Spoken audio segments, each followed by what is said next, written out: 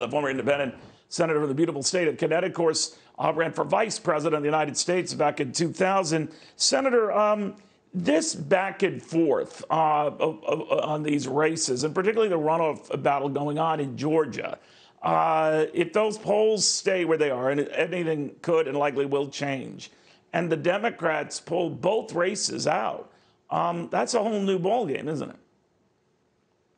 Uh, yeah, uh, Neil, great to be with you as always. So uh, it is a whole new ball game. Matter of fact, uh, a lot of the ball game of, of, the next two years is on the line in Georgia uh, early in January in these runoffs, because uh, obviously these two races will determine whether the Senate is Republican. So there's one House controlled by another party than the White House and the House, or whether the Democrats uh, control the Senate, and uh, they, they, basically are in control of the whole of the federal government. It doesn't mean Joe Biden's going to get everything he wants, but but it means it's going to be a lot uh, easier. And uh, I was surprised by the recent polling in Georgia that showed the two Democratic uh, candidates ahead because the history is, as Steve Harrigan said, that uh, Republicans win special elections in Georgia. But I think two things are happening. One is the state is changing witnessed the fact that Joe Biden carried Georgia. And the second is, right. I think all the, this is intuitive more than scientific. I think all the tumult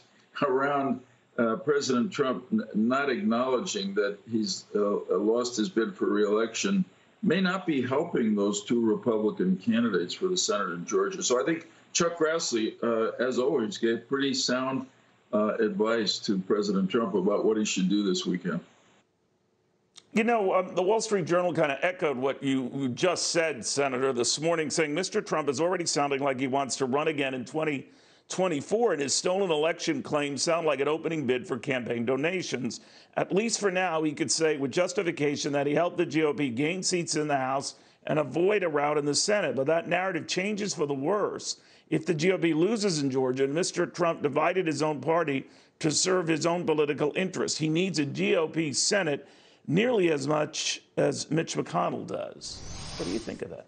Well, I, I couldn't agree more with what the journal says. I, uh, the, the, Republicans don't need me to give them advice. Certainly, the president doesn't. But uh, this is, and what's happening in Georgia about Georgia. It's not about uh, President Trump or the presidential uh, election count.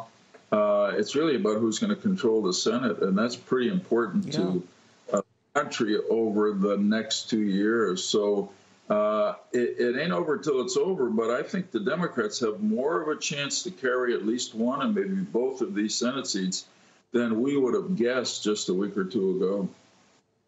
Yeah, it's looking that way, but like you said, it's way too early to tell. But uh, Senator, I don't know if you had a chance to catch uh, uh, uh Joe Biden's comments last night on CNN, uh, but the whole issue of whether the president should concede, will concede, uh, came up and, and, about the importance of the, the, the president being at, at, Joe Biden's inauguration. While he seemed to dismiss it for himself personally, he thinks it's good for the country um, that he'd be there. I hope I got that right. I think that's the gist of it. What do you think of that? That no matter how yeah. President Trump feels, if it turns out that these legal options have all failed, he's still bitter, he's still angry, um, but he, he, he, he shouldn't be petty about it. He should show up for the inauguration of, of Joe Biden, if for nothing more than show the continuity of our system.